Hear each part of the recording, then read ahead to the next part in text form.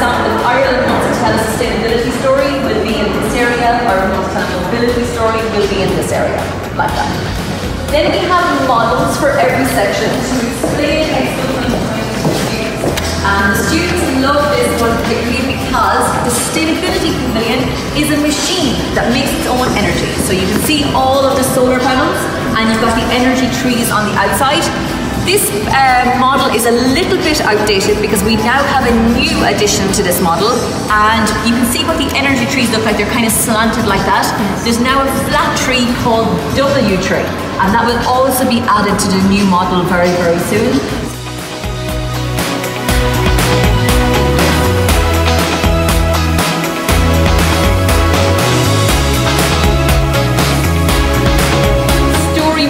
Tell here at Expo 2020. So we want to tell the story of mobility of the past, the present, and the future.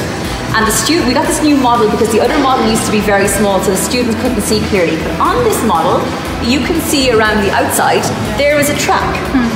So we don't want Expo 2020 to be a place where you look at something, you take a photograph, you say masalama. We do not want this.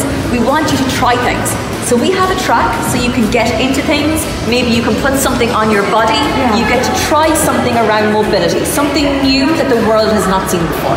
So that's pretty cool. So we give some examples of some ideas of maybe some of the vehicles that you might see, some of the things you might try.